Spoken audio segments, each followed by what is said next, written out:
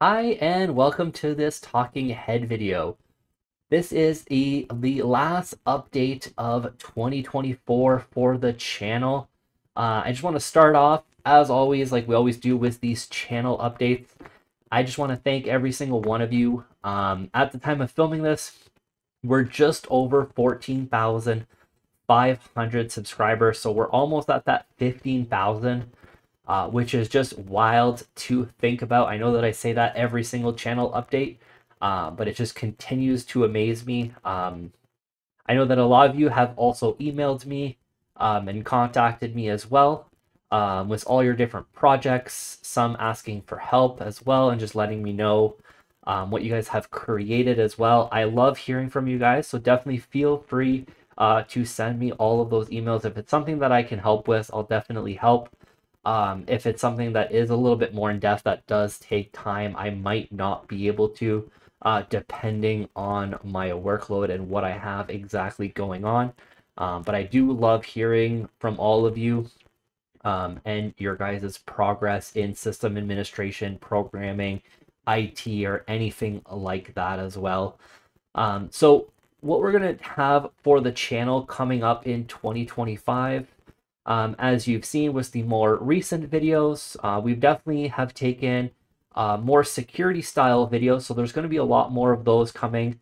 Um, how to manipulate your firewall with PowerShell, uh, some more network scanning, and just some more overall security with PowerShell. Maybe how to set up uh, group policy objects um, for some PowerShell security as well.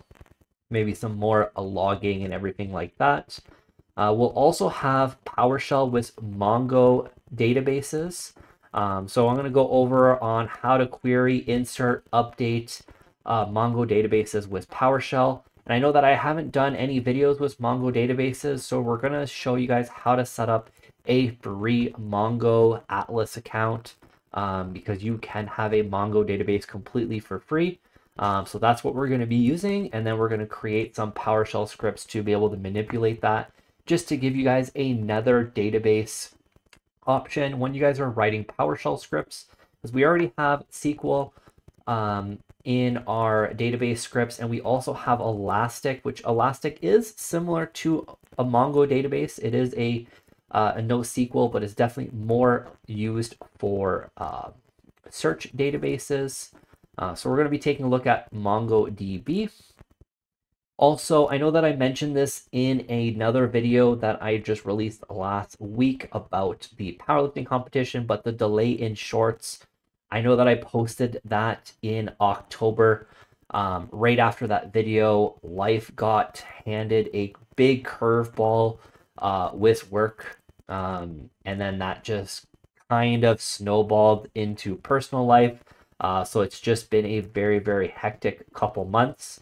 Um, so the first couple shorts are already up, and there's going to be more up as well uh, with time. Those are going to be a more focused on the jacked side of jacked powerlifting, uh, jacked programmer, sorry, uh, which is going to be more focused on powerlifting and that training.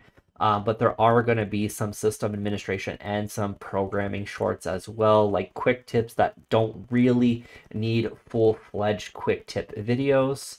Uh, so maybe some easy little one-liners, maybe just going over uh, quick tips a second time for the commandlets that are extremely useful, like the get help commandlet, get command, how to import a module, different little things like that that can be covered in like under a minute.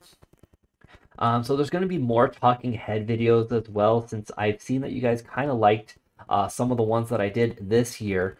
Uh, so we're going to be going over some project idea for you guys for the system administrators, for programmers, some of the different things that you can actually make to put on your resume to get out there and get those jobs.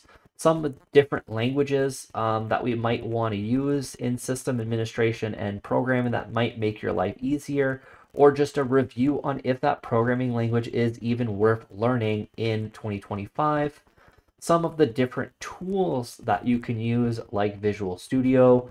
Um, there's also some other handy tools that I'm not going to mention yet, but that I'm just saving up for these videos. Um, but they're going to help you in your day-to-day -day system administration life. uh, just to be able to automate more things or just tackle on more in a shorter amount of time. And also, as I kind of mentioned in my previous video that I posted last week, going over just some more um, things about taking your health as a priority in the system administration programming world, making sure that you're taking that that time away from the screen and just how to manage that and how to kind of go around that avenue. And like I said, if you guys wanted more on that, definitely to please let me know on this video or on the powerlifting recap video as well. Um, and I can definitely get you guys started. And also, I kind of want to know what you guys would like to see more on the channel or what you guys would like to see on the channel. If I haven't done something that you guys would really like to see, please let me know down in the comments section down below. I want to hear from you guys. I want to be able to create an environment where you guys can thrive. And I just like creating this content so you guys can learn. I also learn at the same time, which is just fantastic. Um, and please let me know. And once again, thank you guys for all the support. I think I've, we've been doing this now for almost like three, four years now. I've kind of lost track because it's been quite a while and I wasn't really expecting the support that I've gotten from you guys. Um, like I said, I never thought that I would even reach 100 subscribers, and here we are almost at 15,000.